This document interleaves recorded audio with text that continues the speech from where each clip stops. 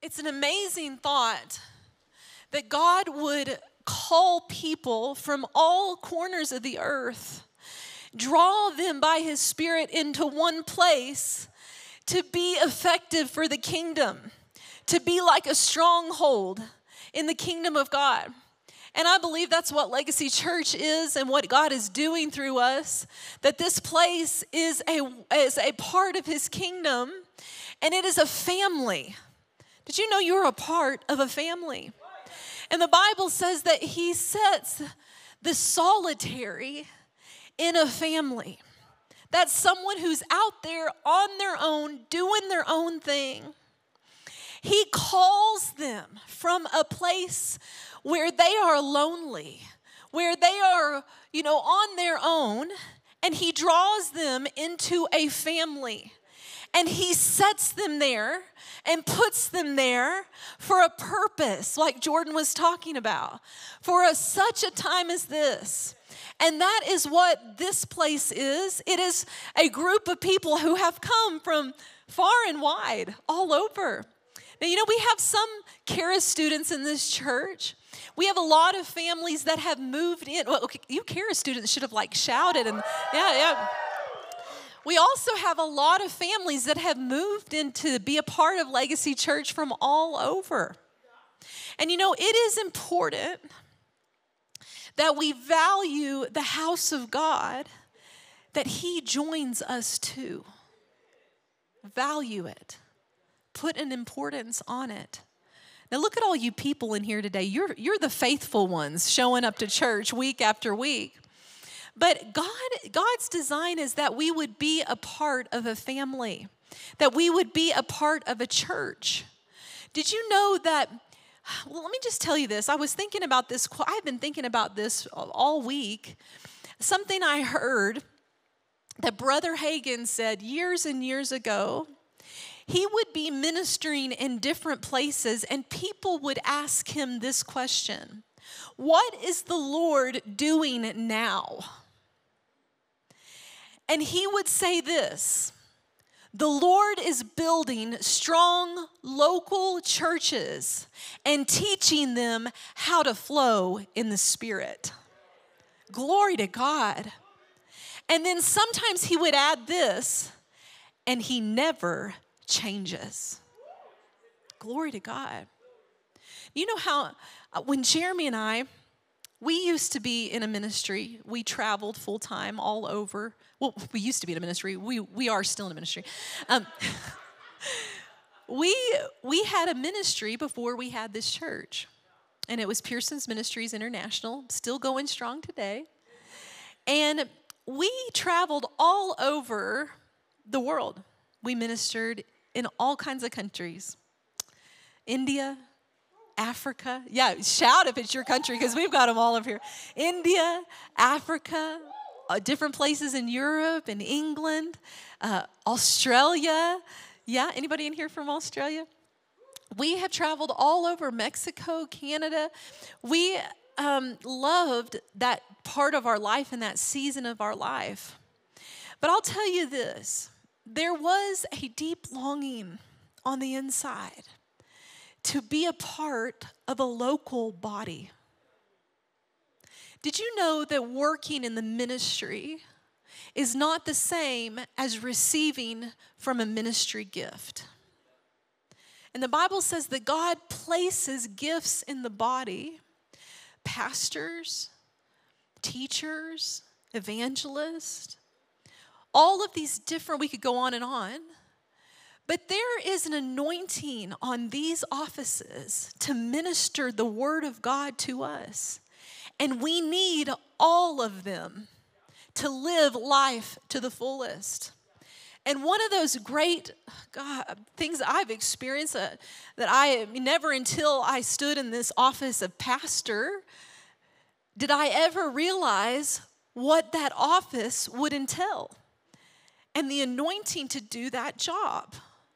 And it's been one of the most wonderful things, the joy of my life to, to be able to pray in a different way, to be able to, to have you to care for.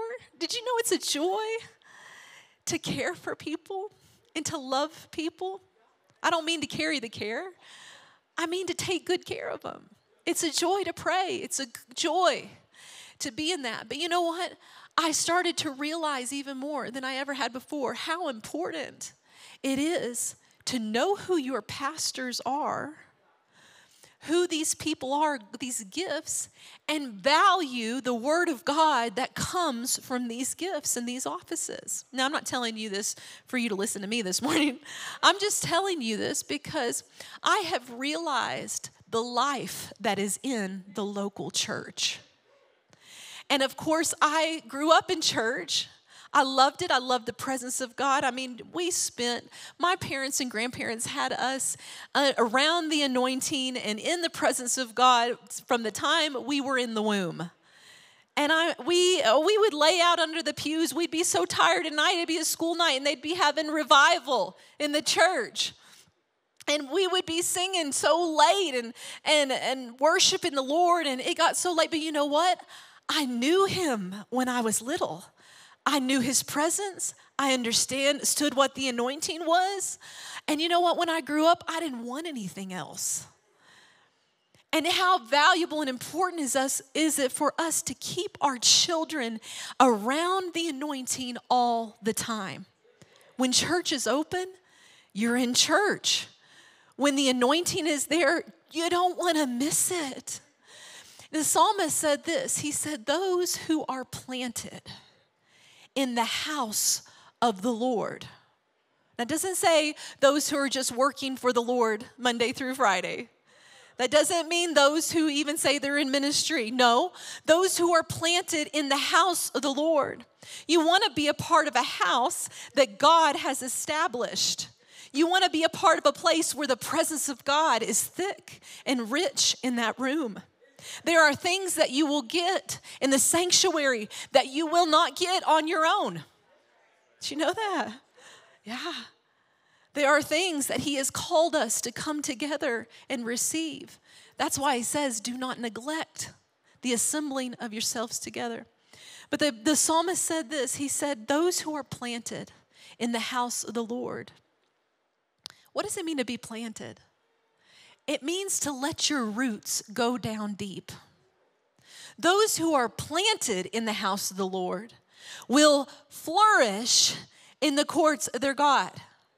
It says this they will still be bearing fruit in old age. Is there a connection between living a long, healthy, satisfied, full life bearing fruit? And being planted in the house of the Lord. There is. It's a powerful, powerful thing.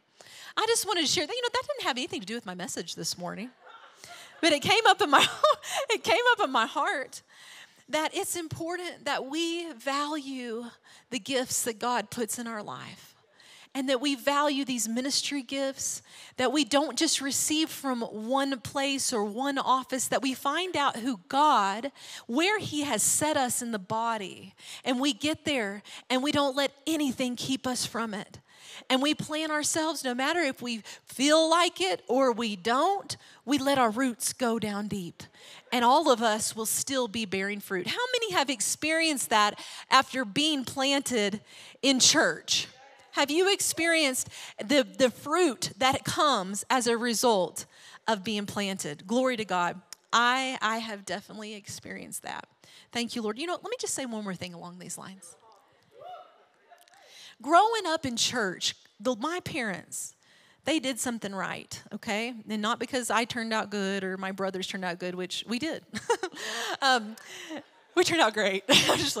um, one thing they did, one thing they did and we're not perfect, but we do love the Lord and we serve Him. One thing they did is they always had us in service hearing the word. Did you know we went to church Monday or Sunday morning, Sunday night, and Wednesday night every single week of our lives? It was very, very rare that we missed it.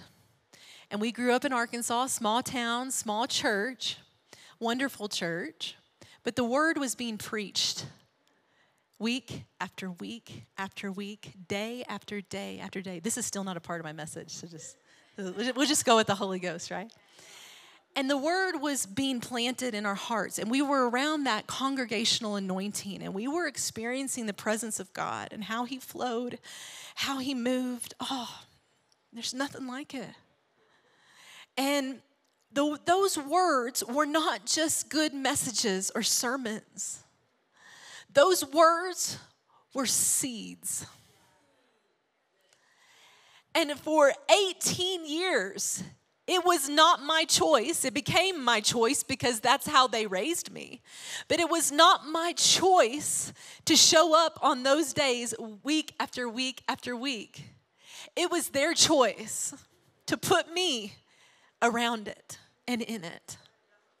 And every day that we came, seeds were being planted in the soil of our hearts. Seeds, seeds, seeds more seeds, more seeds, more seeds. Well, what happens when a seed gets planted and it has time long enough to grow up and to produce? You can't help but that tree that's been planted, you can't help if it grows up and becomes something great and wonderful and mighty. And that's God's goal is that for each one of us and for our children, that we would be the, the seeds of the word of God would be richly planted into us week after week after week. Our job is to keep them around it. And week after week after week, those seeds will begin to grow up and they'll begin to produce and bear fruit. It's almost like you can't stop it. You don't want to stop it. But I just want to encourage you this morning if this is your place and this is the family God has set you in, value it, appreciate it. Let it be important in your life. There's a reason that He's put you here. Find out how you can be a part, how you can let your roots go down deep, how you can serve in the place He's put you in. Find out. Find out what that is. Get on your face before Him if you need to. I know people in this church that have been so faithful. Oh man, if I could tell all of all of you that have blessed me with your faithfulness. But time and time again, showing up, being here, it's not for us. It's your ministry under the Lord. And I just want to encourage you this morning to find out where that place is. If it's here, get in here. We love you. We welcome you. And this can be your family but you want to be a part of a family somewhere and not just a casual part. You want to be planted in the house or the family that God has called you to. Amen. Oh, amen. Amen. Well, why don't you guys turn with me this morning to 1 Corinthians chapter 15. And I was up at 4:40 this morning. Anybody else up early this morning with the time change? And um, did you enjoy your week last week? Wasn't that so great and wonderful? It was just the perfect timing. And Jeremy and I have been traveling a lot lately and ministry and just different things. And it was just such a good day of rest. The Lord blessed us with a new puppy. Mm-hmm. And he's real cute. He's real cute. And but he he is a puppy. He's like a newborn baby. And you know, sometimes that's wonderful. Sometimes, other times, you know, you just need your sleep. But we have a sweet new puppy at home, so the, the extra rest was welcomed for us this week. Um, I, I just I wanted to share with you something. You know, last month was October overflow, and anybody experienced just God moving in your life and filling you up and over till the overflow? Yes, I know. So many testimonies coming in. We had it in our heart that this month would be uh, Thanksgiving November. And we want to focus on what it means to give thanks a lot. And this seems like a real simple subject, but as you study Thanksgiving throughout Scripture, it becomes a very big subject to the heart of God. And I wanted to read you this um, out of 1 Corinthians chapter 15. And it says this in verse 56 The sting of death is sin, and the strength of sin is the law. But thanks be to God who, no, you know what? I'm going to back up. Verse 55 Oh, death, where is your sting? Oh, Hades, where is your victory? Did you know for the born again child of God, death is not something to be feared? And once you get over your fear of death, is the moment that you can truly start living your life. And it says this um, uh, the sting of death is sin, the strength of sin is the law, but thanks be to God who gives us the victory through our Lord Jesus Christ. This week, for the first time, I don't know why I haven't thought of it before, I started to realize the person who wrote this was Paul. And Paul, what he had gone through in his life up until this point. Think about it some of the hardships that Paul faced in his life. He was beaten, that means he was in pain. He dealt with uh, pain. He was shipwrecked at many times. He was stoned. He came face to face with robbers and thieves. Anybody in here ever dealt with that? His own countrymen came against him. That's people that that should have been for him. Uh, heathen and evil people came against him. He suffered persecution in his life. People consistently lied about him. He was tempted to grow weary many times. Can anyone relate to this? Ever tempted to grow weary? He was uh, he was hurt. He had hurt and he had persecuted and he had murdered many of God's people. Do you believe that ever, we never think about this, that his past tried to haunt him and the devil tried to bring feelings of shame over his past, over things he had done? Do you ever think it's possible that the enemy tried that against him, tried to remind him of what he had done. He also mentioned that the cares of the churches, all the churches that he was over in the Lord, they would co- try to come on him daily. These are all hardships or perils that, Paul, that Paul faced in his life. But here we hear this come out of his mouth. But thanks be to God who gives us the victory through our Lord Jesus Christ. Here's what I think is so interesting here is that Paul had so much that God had done for him in the past to be thankful for. He had so much to look back on and to thank God for. But he also was saying this phrase, not just because of what had been done for him, but he was saying it because he had a history with him who had done those good things. He had a history with a God who had been faithful to him time and time again. And by faith, he is saying ahead of time, Thanks be to God who gives me the victory through my Lord Jesus Christ. I can give thanks before I see it. And so he's he in the middle of all these things that he encountered, all of these issues in life he could still give thanks. Paul had developed in the art of a thankful heart. He had developed the art of a thankful heart.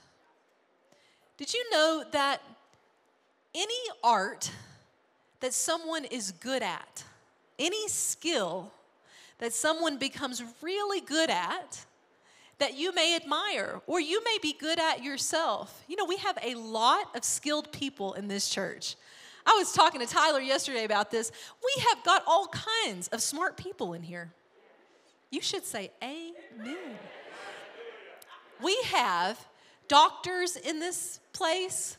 We have engineers in this place. We have business people that are just absolutely excellent. We have ministers, a lot of ministers in this place, people who are called to be ministers. We have uh, like excellent construction companies in this place. We have administrators in this place. We have sales people in this place. We have store clerks in this place. Wait, you should be shouting if it's you. Yeah, there's all, all over here we have uh, we have a lot of technical people that do things I don't you can't even wrap my brain around. But we have very very smart people in this church. Now, who made you that way? I mean, I'm telling you the wisdom of God can come on anyone, the anointing of God and cause you to rise up. And God can take you from being living in a lowly place where maybe you came from, you didn't come from an education or a background that should put you in the place that you're in, but God, oh, in His goodness, has equipped you and anointed you to do a job. You might not even be qualified for it in the natural, but the anointing can come on you to do a job. You know, I'm thinking about this. Uh, Daniel, this isn't in my message either. But I should say it's my message because it's in my message. Okay, Daniel in the Old Testament. Do you remember what it said about him? He was a man with an excellent spirit. And this excellence and this spirit of excellence opened doors for him that no man could close. I love this what it says about him that he the spirit of God would come on him and he would be able to solve enigmas. You know what that is? That's solving problems that the natural man cannot solve. He would be able to, it says this about him, he could untie knots untie knots. What is that a picture of? Something being a, a, jumbled up mess that nobody can figure out, but the wisdom of God come on you and you can see how to untie that knot. Now, I do this sometimes at home. Any, any of you beautiful ladies in here have some jewelry that gets tangled up and you need to untie those gold chains. Yeah, you know what I'm talking about. Well, what you got, you're going to have to see in there, see you're going to see deep, deep into that knot and how to untangle it and how to untie it. You know, you can check in with the Holy Ghost every single day and believe God for the wisdom to untie every knot in your life. Whether it's a relationship, whether it's a situation, you could have gotten yourself into it. The mercy of the Lord endures forever. It might be a part of your job. I'm telling you, there are people in here, the Spirit of God, the Spirit of excellence, the Spirit of wisdom is coming on you today to do a job. And God wants to bless you in it. He wants to prosper everything you set your hands to do. But any skill any skill that someone becomes good at takes tens of thousands of hours in the natural to become good at that skill, to train for that skill. And you know, it's no different when it comes to spiritual things. Thanksgiving, having a thankful heart, is an art and it's a skill. And as we walk with God further in life, and we walk in we walk by faith and we live by faith and our desire is to be pleasing to him in everything we do. We develop more and more this art of a thankful heart. I want to read a few of these scriptures to you. You know psalm 100 verse 4 says enter his gates with thanksgiving and to his courts with praise give thanks to him and bless his name. So many people wonder how can I experience the presence of God more in my life? How can I how can I enter in more? How can I know him more? How can I have his tangible presence in my life? You enter in through a thankful heart. You come into his presence. God makes it simple for us, doesn't he? Just come before my presence with thanksgiving, and I can bless you. I can show up. Thank you, Lord. Thank you, Lord. So I want to encourage you this morning to practice the art of thanksgiving. Cultivate in your life a thankful heart. Now, you know, that means that it won't always come easy. cultiv- cultivating something is, is really a, a practice of a farmer and his crops, plowing ground, digging up soil, working, tilling the ground. It doesn't always come easy. Do you know what's easy on the flesh? Is to murmur and to complain. That's what comes easy. But a thankful heart, oh, it takes development, it takes practice. It's an art, the art of the thankful heart. As I, years and years ago, Jeremy and I were preparing to minister at a conference in Nashville. I was pregnant without knowing it with my firstborn, Justice. And I was laying down, resting, praying in tongues, and believing God for what I was supposed to preach that night. This was 13 years ago. And you know, I just was laying out, you know, when you want to really experience the Lord, sometimes you should just lay in His presence. And you should just get on your face. If you need to hear from Him, if you need to see something, you want to just get quiet. The psalmist said, Be still and know that I am God. That word still is the word Rapha. And if you know what that means, Rapha, Jehovah Rapha, is our God who heals us. So that could mean to you, be healed and know that I am God. Be still and know that I'm God. There is healing in stillness. There is light in his presence. There is revelation in that place of peace and quiet and tranquility. Now, our generation doesn't know really how to do this well. And it's a practice to get quiet before the Lord. The Bible even tells us to aim to live a quiet life what is that? A, a life that's not so noisy, a life that's not so busy, a life that is still and it brings healing to the body. Be still or be healed and know that I am God. And at that time, I was spending time just in His presence, before Him, waiting on Him to hear what He had to say to me. And I was praying over some of these things about Thanksgiving. And I heard him say to me so clear in my heart, I had never heard anyone say this before. Thanksgiving is the language of faith.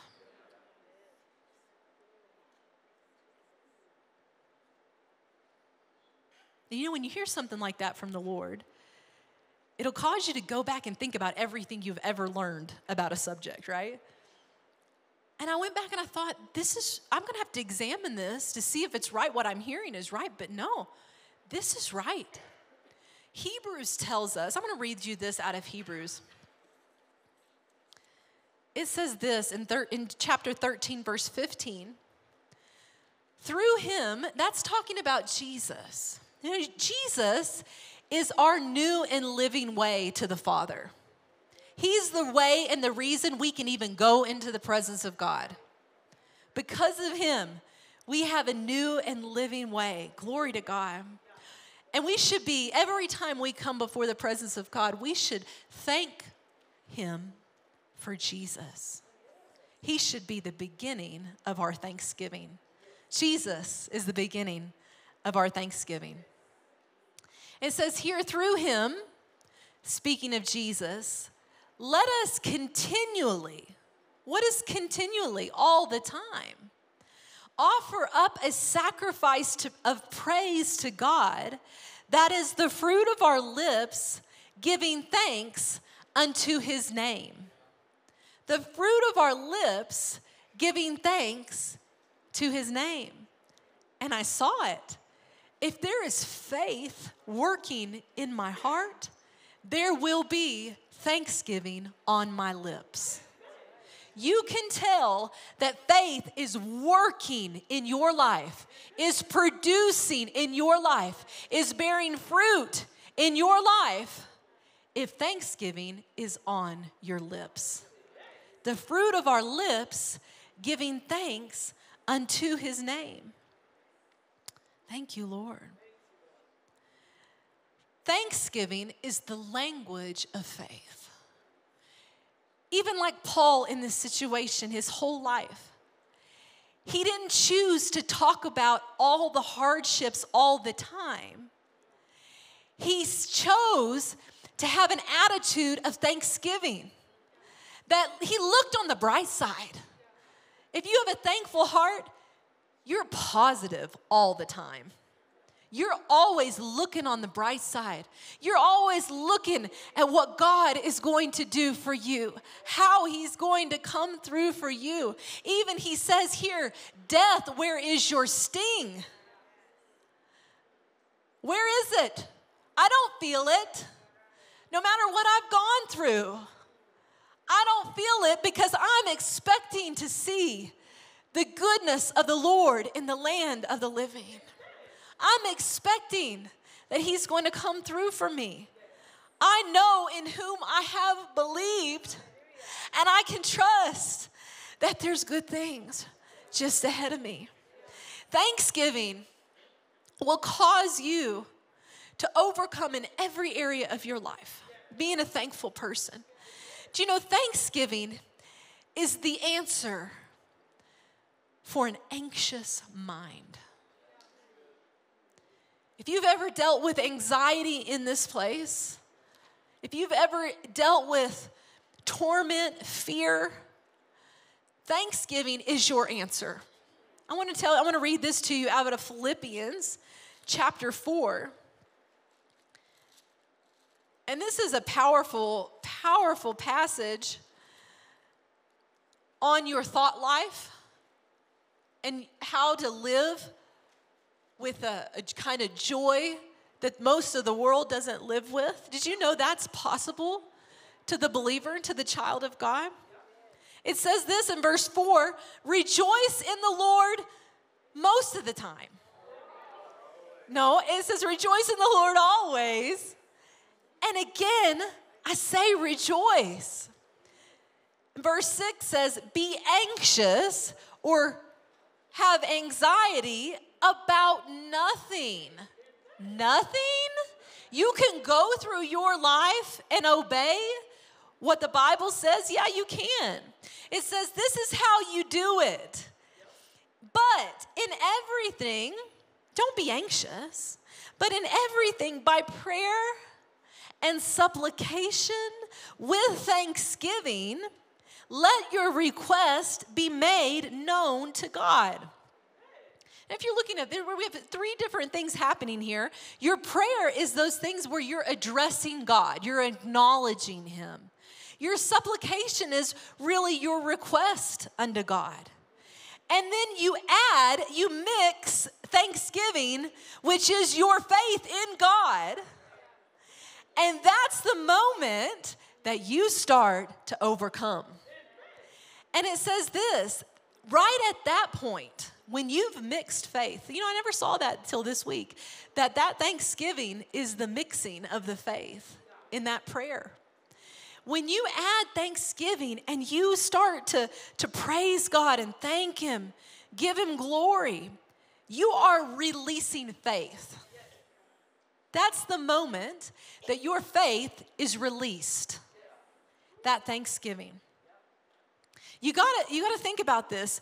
You, you, so many of us, if you, if I had two containers up here and they represented our heart, so many of us would have, uh, you know, a, filled up just a little bit with, with thanksgiving, with thanks. And the majority of this other, this other container over here, most of us would have it filled up to the brim with care, cares. We would be careful full of care instead of thankful, full of thanks. And I just really believe that once that gets evened out, and those cares, you start to cast your cares, let them go from you.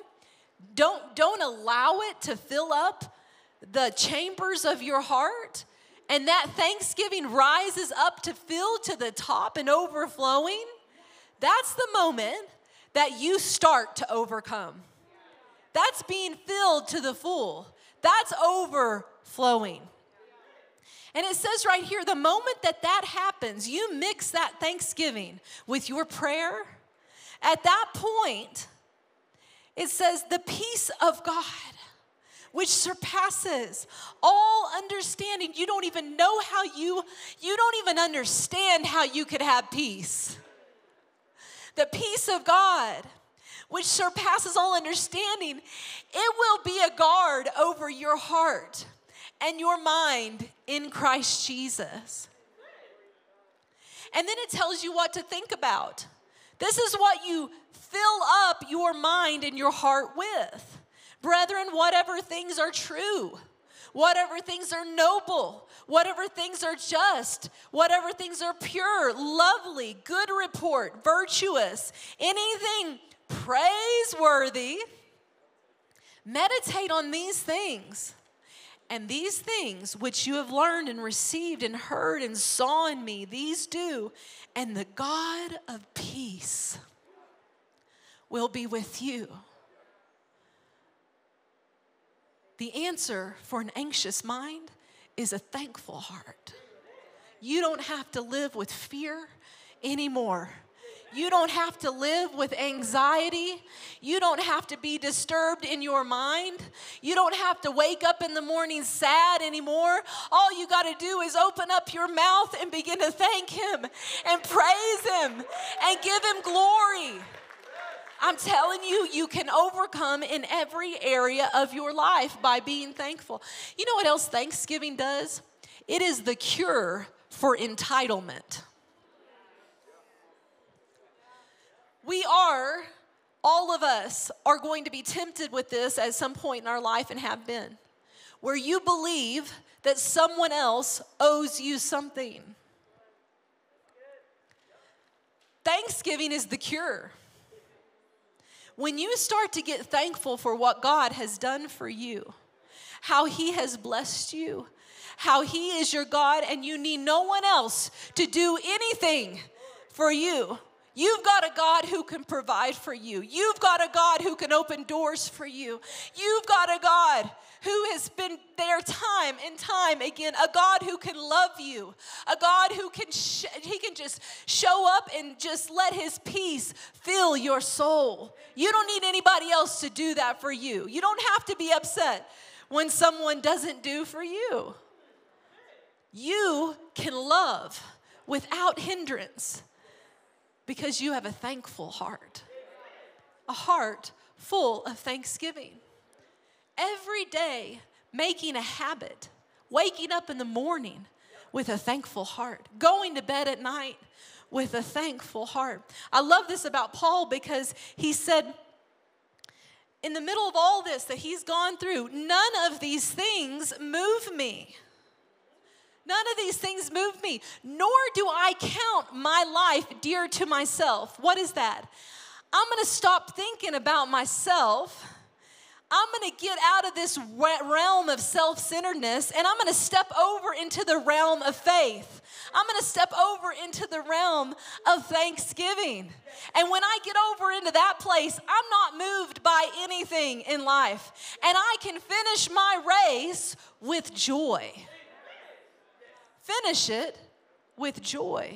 God's plan and His will is that we would live in the joy of the Lord, in the presence of the Lord, in the joy of the Lord, every day, every moment of every day. And it would fill us up to overflowing. The only way we get there is through thanksgiving. Thank you, Lord. I was thinking about this the peace of God comes as a result of a thankful heart. You know, when I, a few years back, some of you that have been a part of the church for a while, you'd remember this, but my mom moved to heaven suddenly. And it was not what we planned, it was not what we expected, it was not what we believed for. And the days leading up to that, the Lord had led me to go down and see her, which was so supernatural in itself because I didn't know that I, really, I had a sense, but I, I didn't really know. I went down to visit her, and they, the, the morning that, um, that I was supposed to leave, she woke up unconscious, and they took her by ambulance to um, the hospital. And I remember driving by myself to the hospital. Jeremy wasn't with me, the kids weren't with me. Do you know you can, you can have peace when it's you and God on your own with Him? He's there for you. You don't have to get it from another person.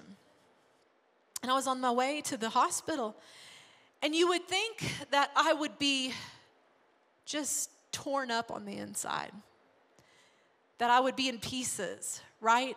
In the natural, that I would be losing it. I, would not know how to cope. That's what the, that's what the world does. But when you're walking with God, the Bible says that we don't sorrow like those who sorrow in the world. And I remember driving, and this, I could feel like this pressure on my heart. And it was like it was pushing against my heart. And I had joy. I was singing, I was worshiping the Lord, spending time with Him. And I just asked the Lord, I said, Lord, what is that pressure on my heart? Like, what is that? And I heard Him say so clearly to me, Sarah, you're guarding your heart. You've put a guard up, and you're not letting that grief and that sorrow overwhelm you you put a guard up. There are going to be plenty of opportunities in life to overcome, even in the face of death. And a lot of people in our camp, we don't like to talk about this, right? But even in the face of death, when thanksgiving and praise and the presence of God is so real to us, we have the ability to overcome in every situation. We have an opportunity to be like Paul and say, Death, where is your sting? Where is your victory? No thanks be to God. For I don't, maybe I don't see it in my natural mind. Maybe I don't feel it in my flesh. But Thanksgiving, it gives thanks ahead of time. It gives thanks before you see it. It gives thanks. A thankful heart will give thanks in the middle of the worst situations because you know in whom you have believed. And so I just put a guard over my heart and I continue to keep the guard up. Now, you know, when she went to heaven and moved to heaven, of course there were tears. Of course, there you have a soul. We have a soul. That's not wrong to feel, to, to, to experience those things. But I remember right after we were about to have her celebration service, and I heard the Lord speak to me so clearly, and He said, Sarah, I want you to rejoice with her today. And didn't I say in my word to rejoice with those who rejoice? And I thought, wait a second. Is she sad at all right now? She's so happy. I don't care how much she loved me and those grandkids, she would not be coming back here for none of us. And your loved ones too. No matter how much they love you, you can forget it. You can forget it. They're not coming back for you. They are way too good. Way too good. And I heard him say to me, Rejoice with her. Rejoice with those who rejoice. And that morning I got up and I decided I'm putting on a garment of praise instead of a spirit of heaviness. And I'm gonna rejoice in the Lord and I'm gonna be glad because what is she doing today? Oh, she's walking, she's riding her bike on the streets of glory. She's running down the streets of gold. She's getting ready for the marriage supper of the Lamb. She has, oh, it's so good. I mean, y'all, the other day, I had a lady, I was talking to this lady and she was actually the breeder for my dog. And um, I, she told me, she's like, Sarah, I'm not breeding anymore because um, I actually went to Cabo a couple years ago and got COVID. And after I got COVID, they put me in the hospital on a ventilator. And I had a near death experience. And she said, Sarah, I literally left my body and went, I was going toward the heavenly city. And she said, uh, she said, when I was, I, I, it was like I came out of my body, which, if you know by the scripture, I'm telling you, there is no sting in death. When you come out of that body, you're gonna be so happy. You're gonna be rejoicing. You're gonna never, you're be like, what was I ever afraid of? She says she came out of that body and she started to go up, and she was like in the sky and she said it was like she had no nothing holding her back anymore. No body, no weight, no feelings of discouragement. She said it was all she was just void of anything bad. And she said, I have never felt peace like that in my whole life. I've never felt peace. She said, the thing that bothered me the most was I didn't even think about how much I missed my family. I had, there was nothing sad. There was nothing bad. She said, I even saw the emeralds around a mountaintop, the emerald stone. She said, You read Revelation chapter 4 and you will read all about exactly what I saw. And then below me, I saw the lights in the city. And I was trying not to look at the light because I knew if I looked at the light, I was going to go to the light. And she said, I asked the Holy Ghost, can I please have a little bit more time with my great grand my grandchildren? And he, he let her come back. And I thought it was so amazing to think about the peace that fills heaven and the peace that happens the moment you slip out of your body like a hand slips out of a glove. You, you death, where is your sting? And I remember at that time with my mom, I began to rejoice in the Lord. And the Lord said to me, He said, You have a choice. You can either be self aware and sad, or heaven aware and glad. And doesn't the Bible tell us to rejoice in the Lord always? And again, I say, rejoice. Not some of the time, not when you feel like it, not when things have gone well. It says no always. And again, I say rejoice because God knows the power that thanksgiving releases in our life. Victory belongs to those who give thanks a lot in the space between where they are and where they want to be. That's who victory belongs to. And Thanksgiving is not just when you receive the gift, after you receive the gift. See, Jesus, in his goodness and his kindness, has given us, has given us everything as a free gift. His gift of righteousness, everything good that that in, in, encompasses. I mean, that is all a gift from him. But what if you were to stand before him and say, No, I don't want that. I can't take that. I'm not worthy of that gift. I can't receive that. I haven't been good enough. I've made too many mistakes. Do You think Paul was thinking about his life and his past? The devil was trying to haunt him with his past. But I'm telling you, Thanksgiving will lift up its eyes. You will have plenty of time to get back up. And I don't think, I don't care how perfect you think or how, how, how bad you think you've been, none of us have been perfect enough to, to have arrived. And this whole life long, we are going to have the opportunity to get back up to get back up on our, on our feet, to get back up on our faith, and to go on with God. And the only way to do it is to go ahead and open up your mouth and thank Him for everything good He's done, everything good He's doing, and everything that's yet to come. And to, to by faith, release thanksgiving because thanksgiving is the language of faith. It is the language of the overcomer, it's the language of the joyful soul. You want to find out how to get over into the place you want to be, You all you had to do is simply start thanking God. All you have to do is develop and practice this art of thanksgiving. You can thank Him now for what you see years down the road. Why not start now? Why not start releasing faith now? Why not start now?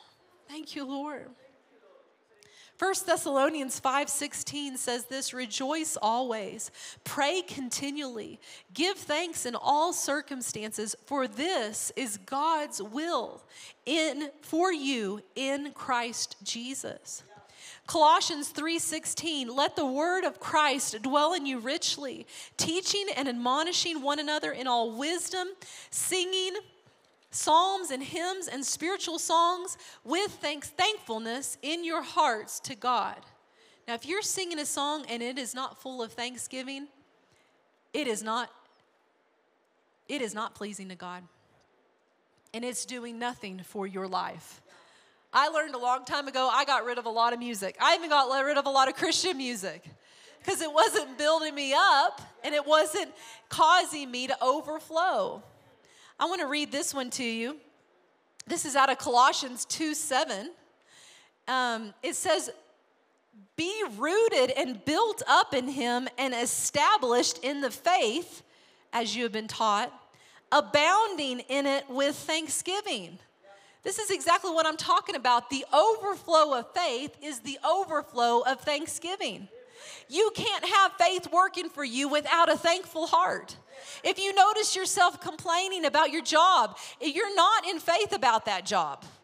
If you notice yourself murmuring about and complaining about your husband or your wife, you're not in faith about their life and your life and in faith for them to get it.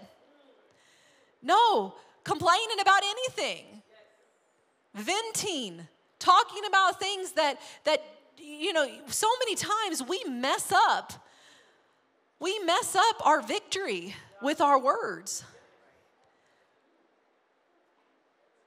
And they've we released it at one point, and God went to work for us, but we we stopped it with our words.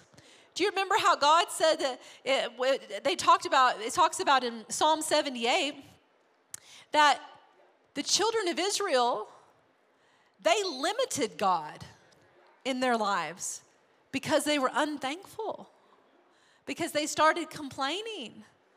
They couldn't be healed because their, their heart was full of care and full of um, complaining and full of darkness. You know, Bible says this in Romans chapter 1 that when you start to complain, that darkness comes in. But Thankful people are always seeing the light. They're always seeing the next step to take. They're always seeing what to do, where to go, how God is leading them. Thanksgiving is the language of faith, and faith is what pleases God. Thank you, Lord. So, established in the faith and abounding in thanksgiving abounding in thanksgiving. It's like the overflow of thanksgiving is the overflow of faith. And you can know that it's working for you. Thank you, Lord. Let me read you one more passage of scripture. We're doing good on time today. I preach quicker than Jeremy.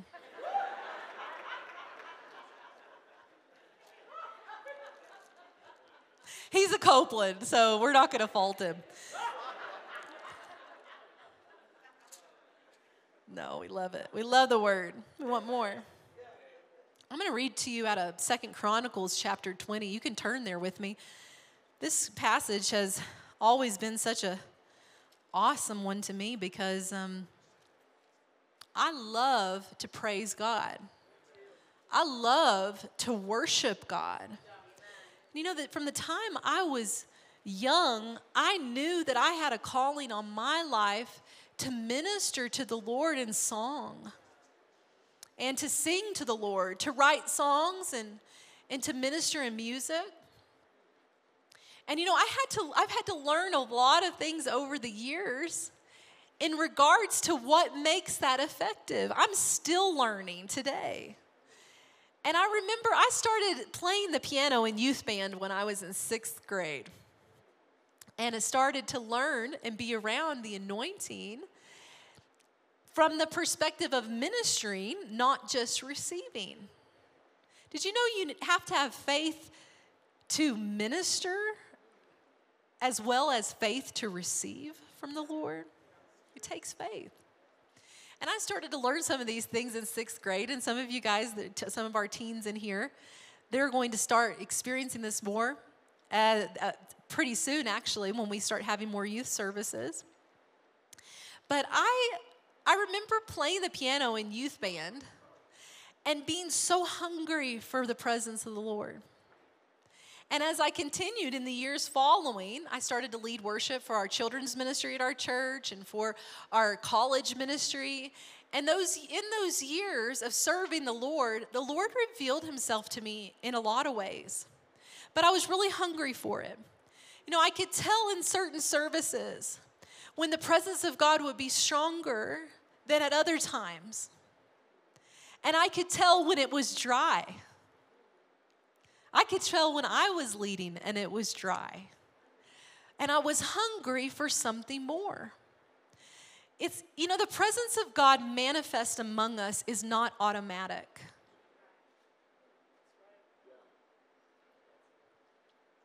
The psalmist said this He said, If I ascend into heaven, you are there. If I make your bed, my bed in hell, you're there. He said, Where can I go from your presence? And the truth is that God is everywhere. And if you're born again, child of God, He lives on the inside of you. The Bible says that we are the temple of the Holy Ghost. But that doesn't mean that His presence is more real everywhere and flowing through everyone at the same time. What makes his presence more real for us? More how, how do we become more aware of it? How do we come in here on Sunday morning and it's so rich and tangible like it was this morning in this place? How do we experience him like that all the time? And I was hungry for this. I didn't want to come and show up and be in a worship service and it be dry. I didn't want to come in and it be lifeless. I want God in the sanctuary. I want Him. He's the one that I want. When He walks in the room, everything gets good. And so I was hungry for some of these things. And I begin to pray and I begin to seek the Lord. I, I begin to, to ask Him, Lord, why was it so anointed at this point and why was it so dry at this point? I want to know why did you choose to make yourself known? Why did you choose to show up at this time more than on this occasion? What is it? Well, His presence goes with us everywhere, right? He even lives in us. So I sought him and I said, Lord, show me. And over the years, he began to teach me about thanksgiving. Enter his gates with thanksgiving and into his presence, into his courts with praise. Not cranky, not crabby, not complaining, not murmuring, not feeling entitled but content, but thankful. You know, contentment is the proof of a heart full of thanks. Thank you, Lord. And I realized so many things about Thanksgiving. You know, the, the Jewish people, they would sing Psalm 100 when they would come into the house of God, they would sing this song that we were just reading Enter his gates with thanksgiving, into his courts with praise. Be thankful to him. And you know what they would thank God for? Everything he had done for them the previous week. Does that sound like what we do in church on Sunday morning? Legacy Church is a bunch of thankful, grateful people. And I can tell because I get up here on a Sunday morning and it is like a rush of His presence. You know, the Bible says, oh, this is, thank you, Lord. I remember this. Prayer is powerful.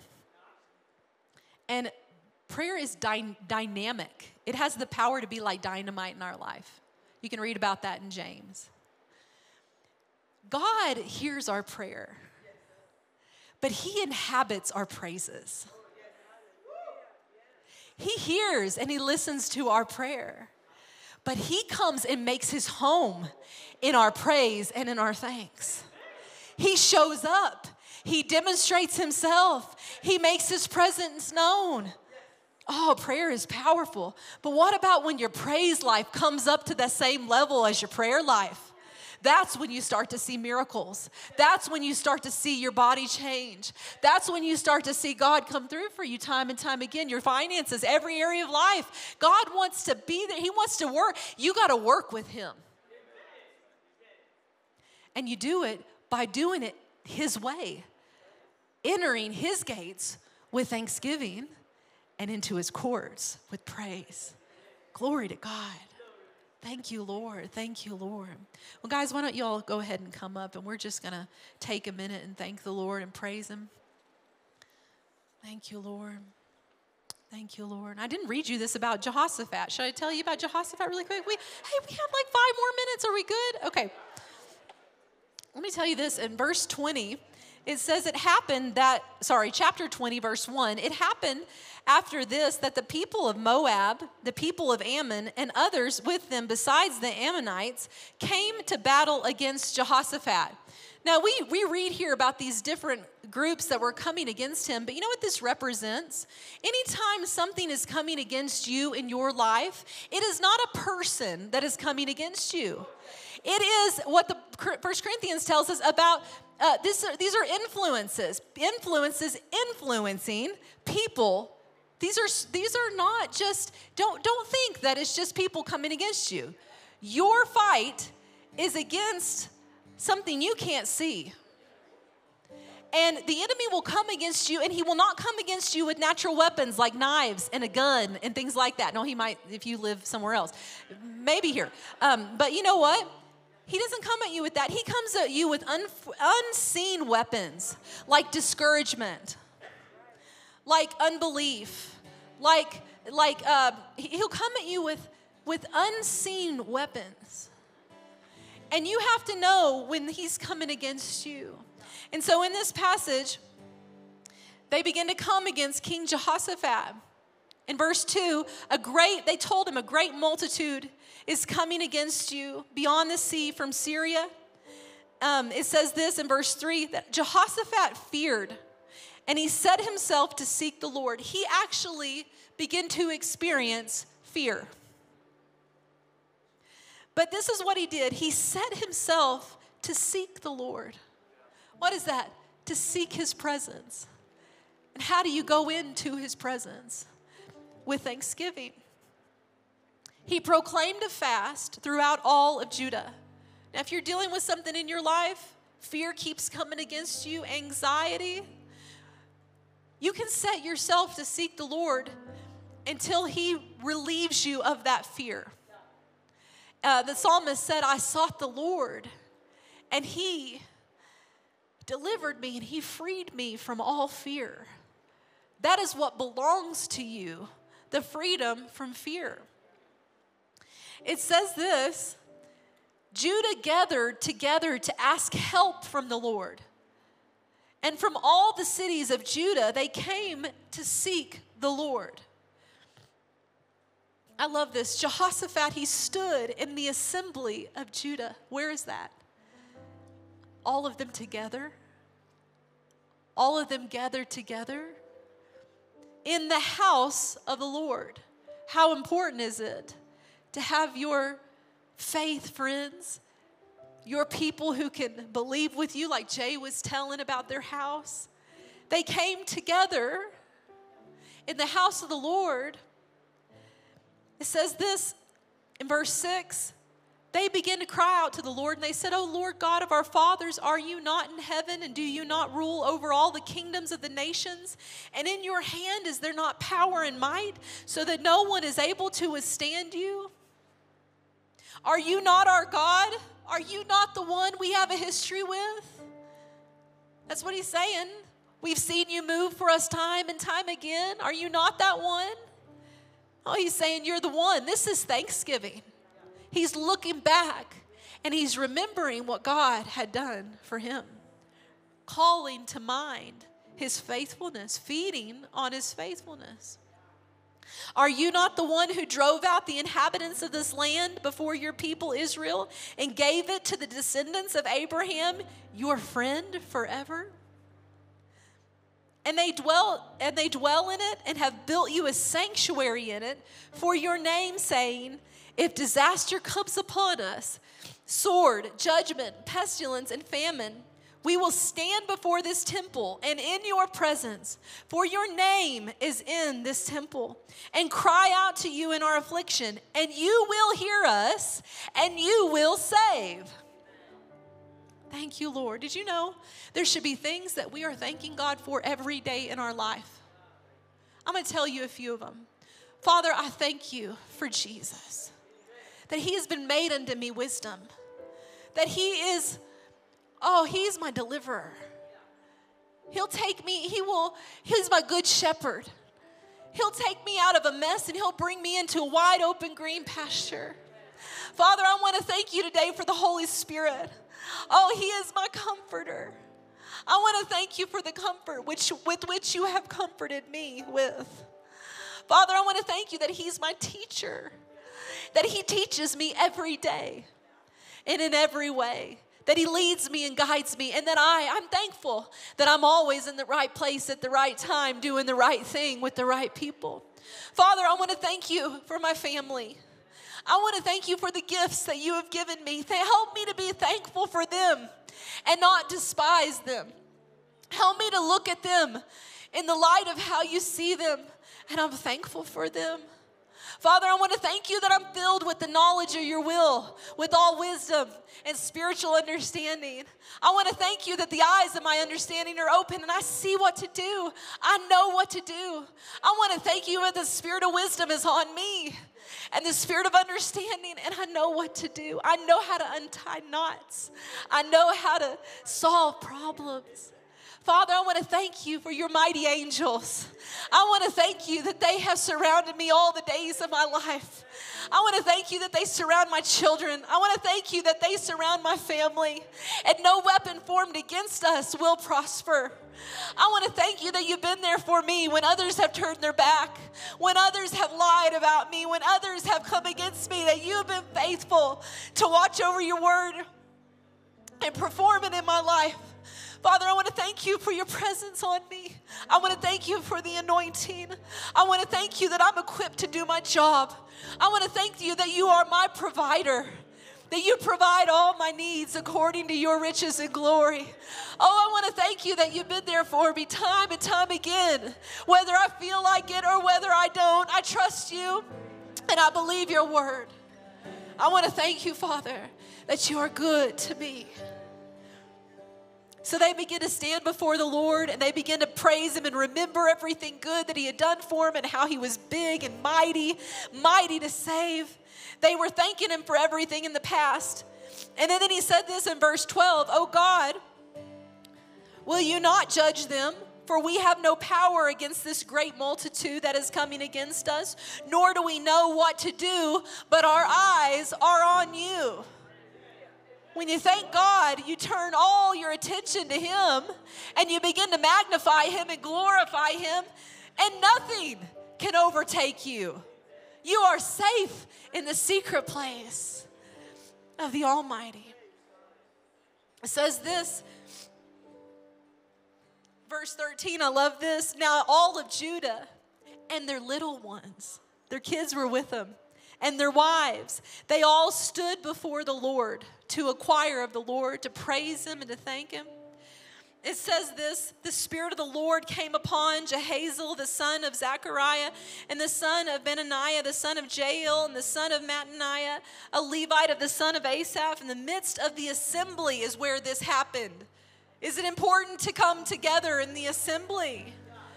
He said this Listen, all you of Judah and those inhabitants of Jerusalem, and you, King Jehoshaphat, thus says the Lord to you Do not be afraid, do not be dismayed. Because this great multitude, for the battle is not yours, but the battle is God's. Now, the moment that you hear the word of God is the moment you can start praising and thanking God. Wait till the battle is over. You don't have to wait till you see the end result. No, no, no. When you get the word from God, is the moment you start thanking Him. He says this tomorrow, go down against them. He'll give you something to do, too.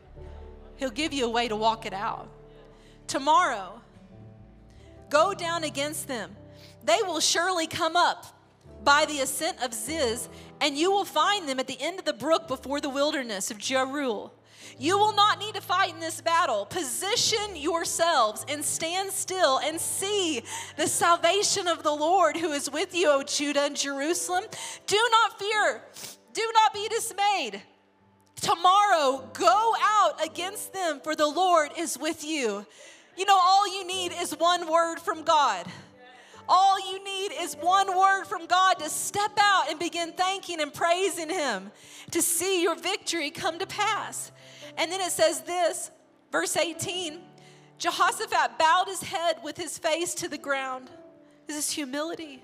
And Judah and all the inhabitants of Jerusalem, they bowed before the Lord, they worshiped the Lord. It says the Levites and the children of um, the Kohathites and of the children of the Korahites stood up and praised the Lord God of Israel with loud voices high. Had it happened yet? No, they praised him before it happened.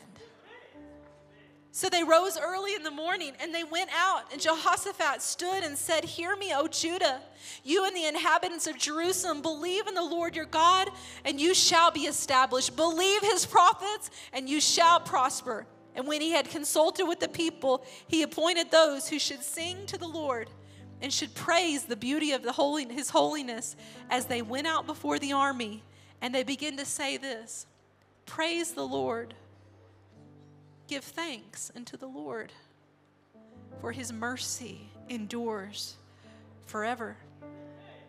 And as they begin to sing, and as they begin to give thanks, and as they begin to praise, the Lord the Lord. Their part was the thanks, their part was the praise. But the Lord, He began to fight their battle for them. Why don't we just stand up right now? Oh, thank you, Lord. Thank you, Lord. Thank you, Lord. Thank you, Lord. Thank you, Lord. Oh, thank you, Lord. All you need is a word from God. All you need is a word you can stand on. And when you've done all you can do, and when you have prayed all you can pray, it's time to lift up your voice. And it's time to give him thanks and to give him praise like it's done, like it's finished all those people, those singers and those praisers, why does it make any sense to put them out at the front of the army? It's like all of us up here. Do we have do we all look like we have a bunch of big muscles and and, no no no no we have a weapon. And it's it, our song is our sword. And our praise you know, the psalmist said, Let the high praise of God be in your mouth, a two edged sword in your hand. Let your words, man, he just, God Himself, He will utter His voice, and 150,000 will be wiped out. How much power is in your words? How much power is in your thanksgiving? How much power is in your praise? Let's go ahead and let's just do this for a minute, and just give him praise. Oh, we praise you, Lord. We thank you for the victory. Oh, we are overcomers. We are overcomers. We are the victory. We are the victorious ones. Oh, thanks be to God who gives us the victory. Oh, thanks be to God. Thanks be to God. Thanks be to God who gives us the victory through our Lord Jesus Christ. Oh, we thank you, Father. Thank you, Father. Thank you, Father. Thank you, Father. Thank you, Father. You can just get caught up in the realm of thanksgiving. Oh, thank you, Lord. Thank you, Lord. If you see it in His Word, oh, you can count on Him. You can thank Him for it. If you see it in His Word, if it's a promise, you can thank Him for it. Oh, hallelujah. Oh, hallelujah. We praise you, Lord. Oh, we praise you, Father. Oh, you've been faithful. And you don't stop now. Oh, hallelujah, hallelujah. Oh, hallelujah, hallelujah. Thank you, thank you, thank you. Thank you, thank you, thank you. Thank you, thank you, Lord. Thank you, Father. Faithful, faithful, faithful. Oh, thank you, Lord. Thank you, Lord. Thank you, Lord. Thank you, Lord. Thank you, Lord. Thank you, Lord. Thank you, Lord. Oh, Father, thank you, Lord. There's people in here that are re- ready to release faith this morning. You're, re- you're ready to release thanksgiving that's going to turn your whole world around. You're going to start waking up in the morning with a smile on your face. No matter what you feel like, no matter what it looks like. Oh, a thankful heart. Oh, a thankful heart. Thank you, Lord.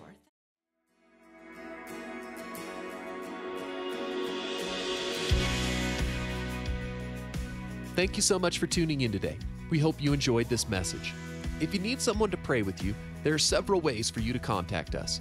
Feel free to give us a call at 817 577 0180. You can also contact us through the Legacy Studios app or either of our websites. Giving options are available online at pearsonsministries.com and legacychurch.family. If you prefer, you can also text an offering. Simply text Legacy and any dollar amount to the number 28950 and follow the prompts. Be blessed today. We love you, and remember, you are always welcome here in the House of Faith.